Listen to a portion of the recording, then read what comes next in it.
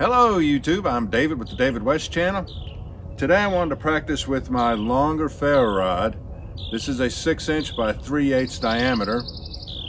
And the reason why is, you know I'm always using my keychain ferro rod. It's just a 3 and an 8 by 5 16ths. And when I tried this out the other day, it felt awkward. And that's because I haven't practiced with it in so long. Let's make a video today using the 6 inch ferro rod and four different scrapers and I'm just going to use leaves off the ground.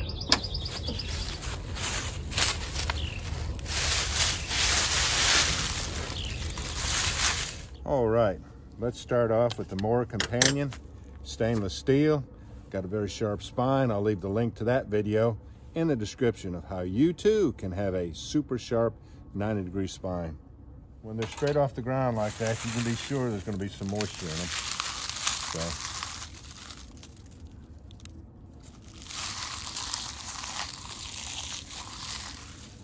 like to halfway break them down. Make like a little hole in the center.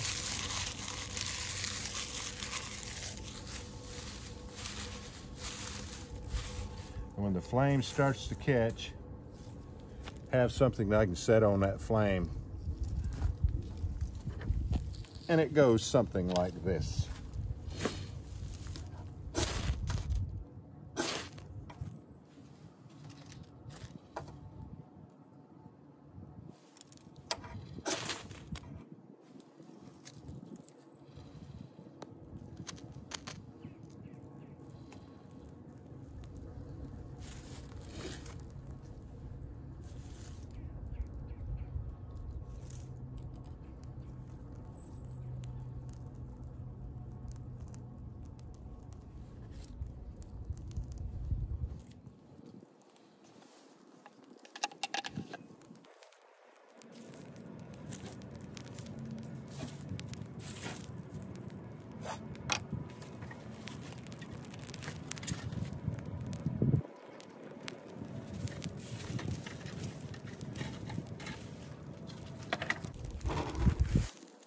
Right, let's go ahead and try what you've seen already a bunch of times. We'll go ahead and try the spine on my Stanley 10-049. A great scraper.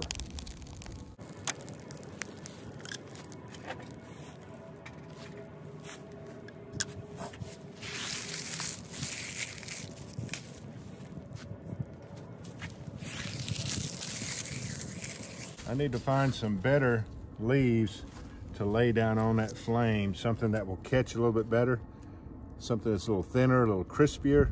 These two look good.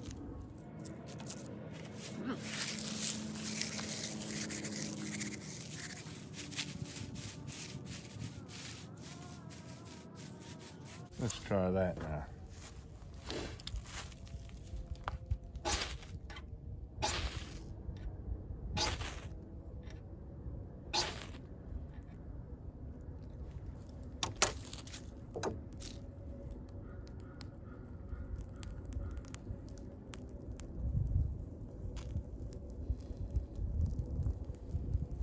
Still took a while for those to catch, didn't it?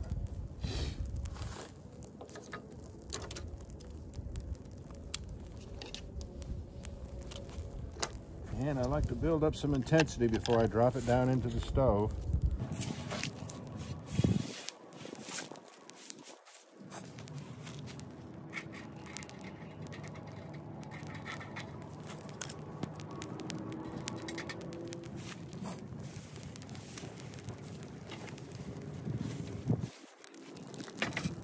Next we'll use the spine of the saw on this Swiss Army knife. It's a Fieldmaster.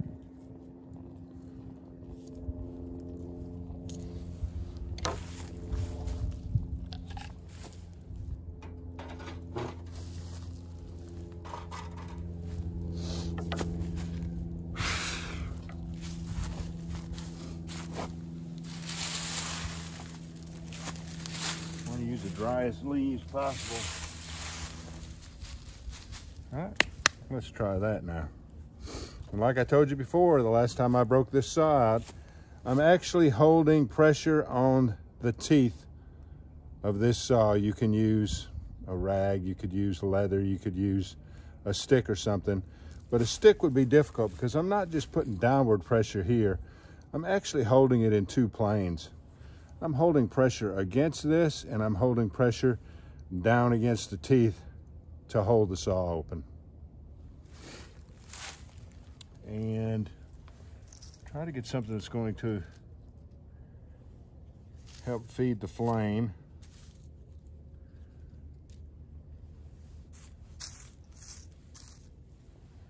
Let's try that. Oh, and these pine needles will be good too, won't they? Let's pull some of them out.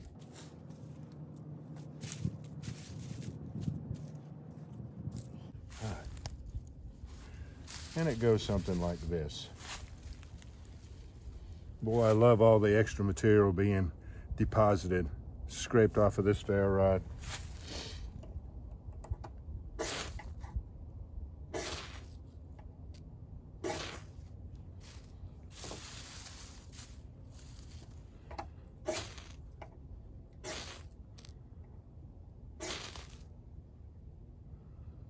Yeah, these, these leaves are wetter than the other ones.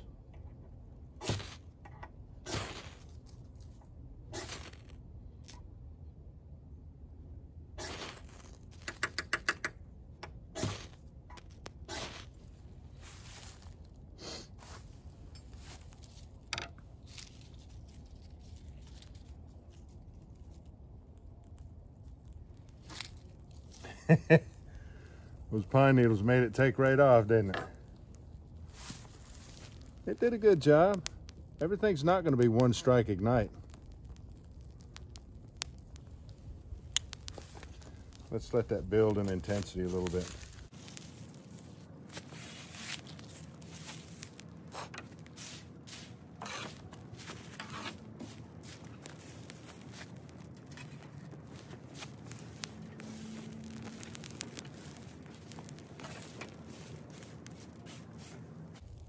All right. And the last one I want to do, well, let me just cut away to where I gathered up the materials for the last one. Let's let this go to flames before I cut away.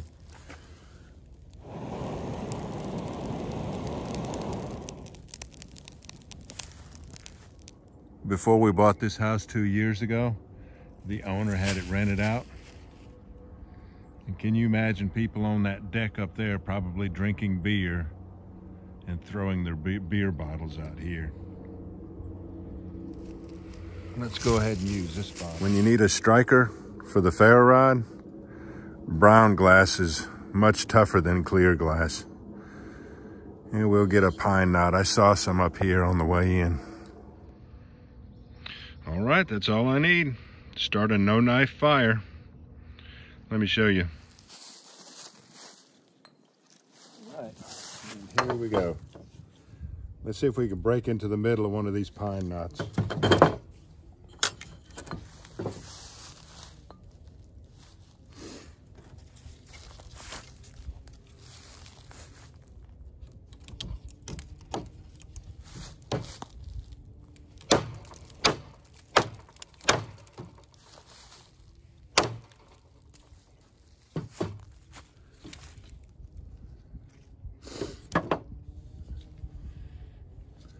We'll use this. That fat wood is dried up, but it doesn't matter. It'll still be good.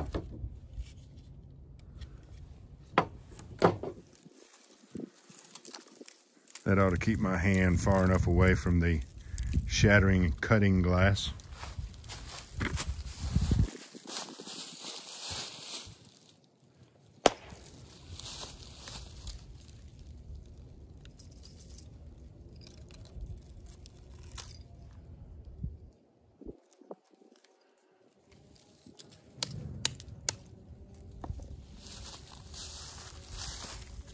All you need for a scraper. I can get out of the I can get out of the shadow somehow. Yeah. Let's scrape some fat wood and some ferro rod.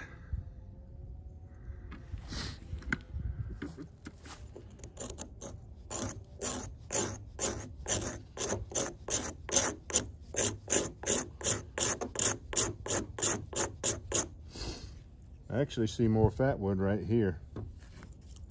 Let's try that.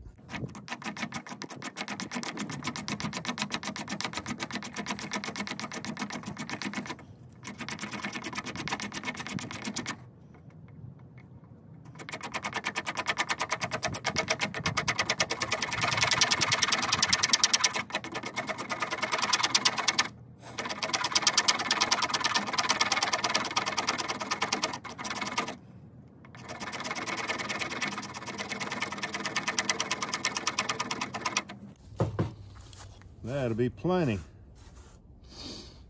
Let me show you that. Let me show you my hands are not hurt.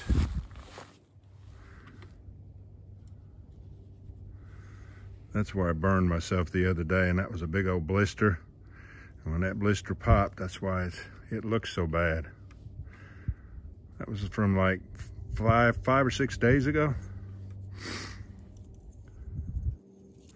But if you're fortunate enough to have really tough skin on your hands and fingers like I do, utilize it.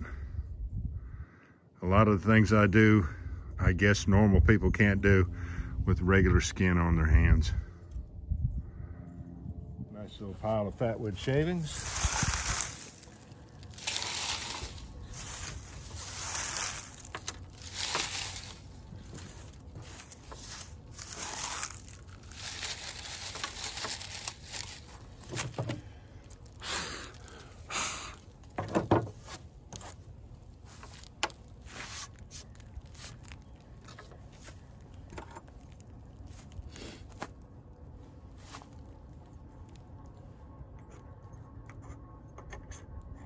I feel a good bite right there.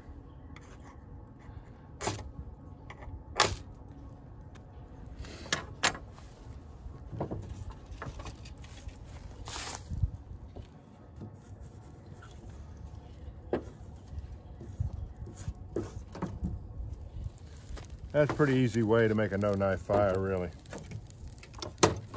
So,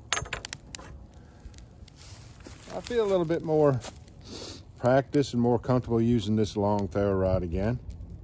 Man, it sure deposits a lot of material, which is great. All right, y'all. Before you leave my channel, please hit the subscribe, hit that notification bell, and in the drop-down list, select all. And do give the video a like. I appreciate you joining me on this one. We'll catch you on the next one.